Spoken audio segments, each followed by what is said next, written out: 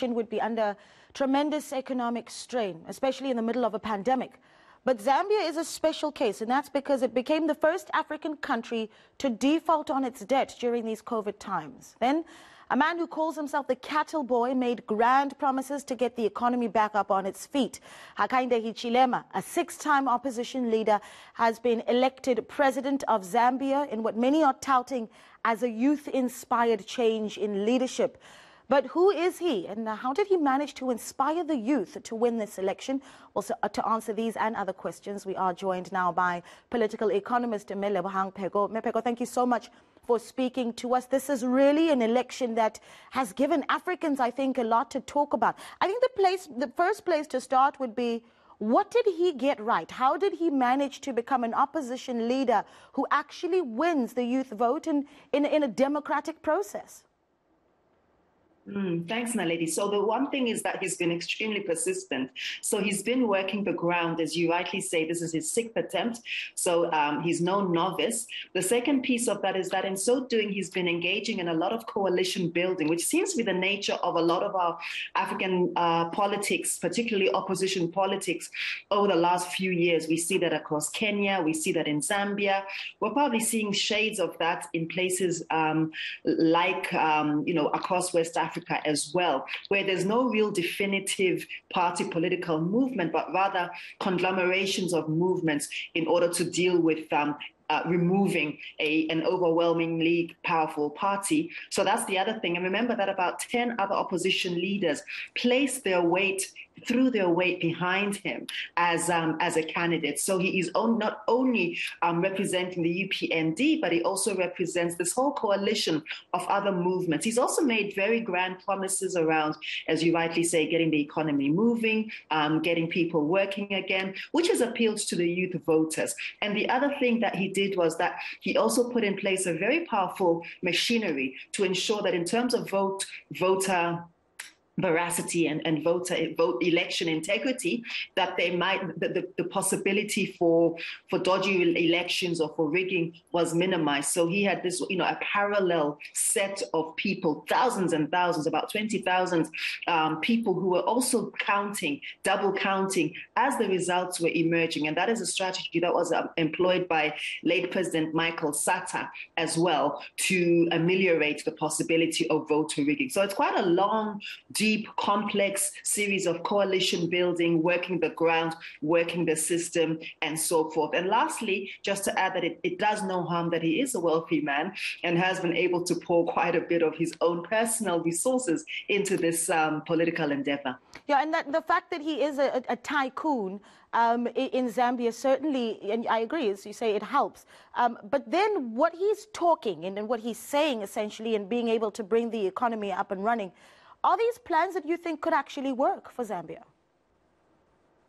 So, hmm, interesting question. He is very market orthodox. He's very he's he's looking at using the same modalities um, going back to the IMF. Remember that Zambia has just defaulted, but he's going back to the IMF and also making a you know making arrangements there to defer their debt payment um, and also to then re you know there's a, there's it's also it's linked to what they used to call the HIPC, uh, which was the high indebted country program, and basically it's a it's a form of debt deferment. So on the surface and in the short term, it does appear to solve problems because it means that you pay less or you pay later or you, you delay your debt. But of course, as we know, like with any debt, it only accrues interest in years to come. Um, and I think that it does speak into some of the, the, the complaints and the concerns that many of us have around IMF World Bank funding that is extremely conditional. Remember that in fact, Zambia originally in the 1990s lost their airline um, as part of a, a debt settlement deal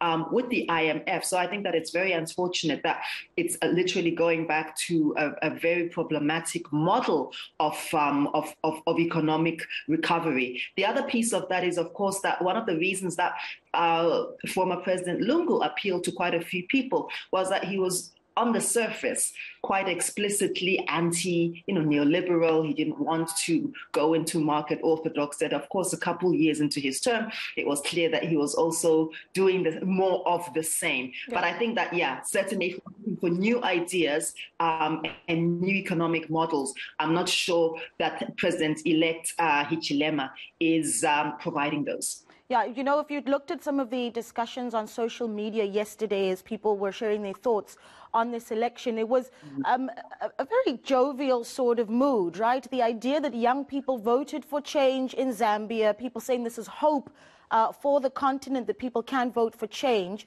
Um, I want to talk about whether or not Hichilema actually represents that. I mean, there's the, the fact that Zambia has just lost Kenneth Kaunda as well, and there's links between Kaunda and Hichilema as well. Yes, exactly. As I said when we spoke, um, in fact, the UPND is not per se a new formation. It is actually a formation that emerged from um, a, a, a, a, compromise or a coalition, I think in 2006, between what used to be UNIP and two other movements. So um, it's not surprising that, in fact, late President Kaunda uh, in, to some extent had endorsed um, Ndate candidature and um, you know had endorsed his his campaign as well. Uh, and I think that this idea that we're seeing something new is quite interesting because what we're seeing a, a, lot, and I mean, I think the same can be said about what we've seen in Kenya, what we're seeing in places even uh, where, where, where, where, countries have had to remove overweening um, party po- political agents. So the way that the Kenyans removed KANU um, of, of Kenyatta and Moi was, of course, with, the, with, a, with a coalition. And we're seeing the same in Zambia with coalitionism rather than parties which really build on new political and economic models. And I do think that I do get concerned about the politics of personality because if in fact these are parties which don't actually offer anything substantively new and different, but are rather built around removing the, you know, the, they're rather built around the politics of removal, which are not invalid, but removing in exchange for what? Are we seeing anything radically significantly different between one transaction and change of power to the next? I'm not entirely sure. Yeah, I mean, it's, you certainly have given us a lot to think about. As always, I thank you for your insightful views. We really do appreciate it that there.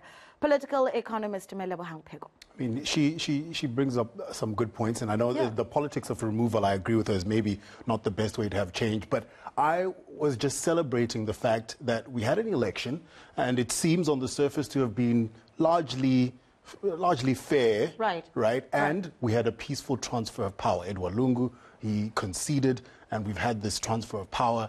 And we don't see enough of that on the continent. It's something maybe that's worth celebrating. Yeah. No, I, I 100% yeah. agree with that, that we're finally starting to see democracy work on the continent. The bits and bobs is what we need to take a closer yeah. look at, but that's definitely an optimistic point. All right. Let's. Uh,